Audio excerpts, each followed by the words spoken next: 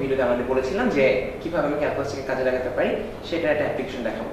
তাহলে আজকে এর পরের সিরিজ ভিডিওতে আমি অনেকগুলো জিনিস দেখাবো, আজকে প্রথম যেটা দেখাচ্ছি, সেটা হচ্ছে পপুলেশন মডেলিং এখন পপুলেশন মডেলিং এ আমি যেটা করব, ধরেন একটা প্রেক্ষাপট আমরা চিন্তা করি, ধরো দু হাজার সালে পদ্মায় একটা চর আবিষ্কৃত হচ্ছে এখন ওই চরে মোট দু হাজার চোদ্দ সালে মোট জনসংখ্যা আমি ধরে নিচ্ছি এন এখন এন নট কীভাবে? দু হাজার চোদ্দ সালে ওইখানে মোট এন জন মানুষ বসবাস করতে গিয়েছিলেন। তারপরে সার্ভে ডাটা করা হয়েছে পরে দেখা গিয়েছে দুই হাজার পনেরো সালে ওই এলাকার জনসংখ্যা দ্বিগুণ হয়। তাহলে প্রথমে যদি এন নট ছিল দু হাজার সালে দু হাজার পনেরো সালে টি ইজ টু ওয়ান মানে এক বছর পরে সেখানে জনসংখ্যা দ্বিগুণ হয়েছে, তাহলে জনসংখ্যা হবে টু ইন্টু এন নট এবং সেখানে আরও সার্ভে দুই আবার এক বছর পর সার্ভে করে দেখা গিয়েছে যে ওইখানে দুই সালে মোট দুই হাজার জন জনসংখ্যা পাওয়া গিয়েছে। দুই হাজার মানুষ ওখানে বসবাস করছে। এখন বিষয়টা হচ্ছে, আমাকে এখন বের করতে হবে যে দুই সালে ওই এলাকার জনসংখ্যা কত হতে পারে। আমি এটা ধরে নিচ্ছি যে বর্তমানে ওই এলাকাটার জনসংখ্যা হচ্ছে এন সংখ্যক তাহলে আমাকে এখন বের করতে হবে দুই সালে ওই সালে ওই যে এলাকার জনসংখ্যা কত হতে পারে। কীভাবে আমরা ডিফারেন্স ক্যালকুলাসে এই জিনিসটা করতে পারি, সেটা আমি এখানে দেখব আজকে।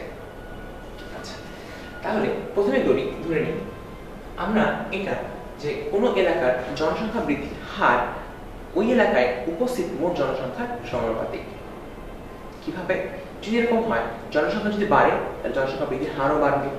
আবার জনসংখ্যা যদি কমে যায় তাহলে জনসংখ্যা বৃদ্ধির হারও কমে যাবে। তার মানে কি? জনসংখ্যা বৃদ্ধির হার বা হ্রাসের হারটা অ্যাকচুয়ালি কতগুলো মানুষ ওখানে উপস্থিত আছে, তার উপর নির্ভর করতেছে। তাহলে আমি ধরে নিয়েছি দুই সতেরো সালে মোট এন সংখ্যক মানুষ আছে। তাহলে আমি যেটা বলতে পারি?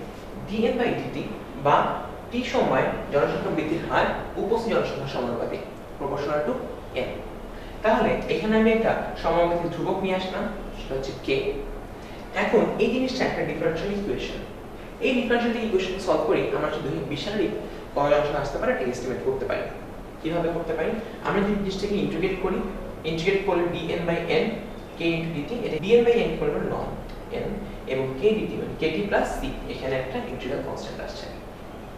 দেন আমি এই ননটাকে পাশে ট্রান্সফর্ম করেছি অর্থাৎ ই এসেছে এক্সপোনেনশিয়াল কনস্ট্যান্ট এবং এই এক্সপোনেনশিয়াল কনস্ট্যান্টের কারণে জিনিসটাকে আমি ভাগ করেছি E to the power K T into E to the power C এখানে দেখবেন এখানে তোমরা বুঝতেই পারছ যে ই টু দি পাওয়ার সি এটা একটা কনস্ট্যান্ট ভ্যালু তাহলে এই কনস্ট্যান্ট ভ্যালুটা আমি ধরে নিয়েছি তাহলে এটা হচ্ছে আমার ইকুয়েশন ইকুয়েশনটা আমি ডেভেলপ করলাম।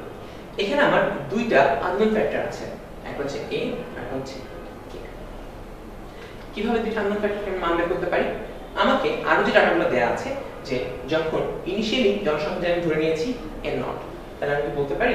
যখন টি ইকুয়াল টু জিরো মানে একদম দুই হাজার সালে, তখন N is two N naught যদি এখানে টি ইকুয়াল টু জিরো বসাই, তাহলে ই টু দি পাওয়ার জিরো মানে কোনো কিছু পাওয়ার জিরো মানে হচ্ছে ওয়ান তাহলে আমার এখানে পাবো এন এর জায়গায় আসবে এন নট এ ইজ টু পাচ্ছি এন নট এখন আরেকটা ডাটা জানতে দিয়েছে যে দুই হাজার পনেরো সালে, অর্থাৎ এক বছর পরে জনসংখ্যাটা দ্বিগুণ হচ্ছে। এখানে তাহলে আমি T equal to one then N is equal to পাচ্ছি টু ইন্টু এন নট তাহলে মানটা যদি আমি এখানে বসাই এবং ক্যালকুলেশন করি, তাহলে দেখা যাবে কে মান আমি পাচ্ছি পয়েন্ট সিক্স নাইন থ্রি আটটা যে ডাটার মধ্যে দেওয়া আছে দুই হাজার ষোলো সালে জনসংখ্যা দুই হাজার। তাহলে আমি যেটা বসাই যে যখন টি ইকুয়াল টু টু মানে দুই হাজার ষোলো সাল, তখন আমার জনসংখ্যা হচ্ছে দুই হাজার। তাহলে এই মানটা যদি আমি ইকুয়েশনে বসাই, তাহলে আমি যেটা পাবো two thousand is two N naught E to the power point six nine three into two যেহেতু টি এর মানটা টু এখানে। তাহলে এখান কি পাচ্ছি?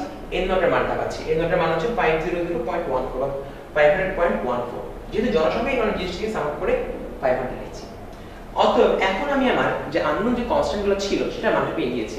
এবং বর্তমানে আমার ইকুয়েশনটা হচ্ছে n is equals to 500 e to the power 0.693 into t এখন তুমি ইচ্ছা করলে এখানে t এর মান যা ইচ্ছা বসাও না কেন, সেই অনুসারে তুমি মানটা পাবা।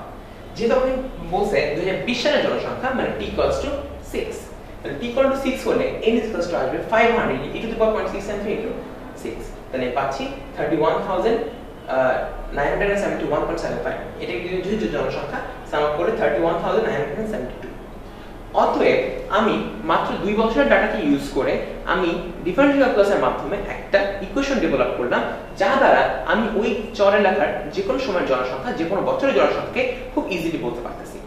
তাহলে এটা ছিল ডিফারেন্সিয়াল ক্যালকুলাসের ছোট্ট একটা প্রয়োগ। এরকম আরও অসংখ্য প্রয়োগ আছে এবং সামনের ভিডিও লেকচারে আমি সেটা দেখানোর চেষ্টা করব। ধন্যবাদ সবাইকে।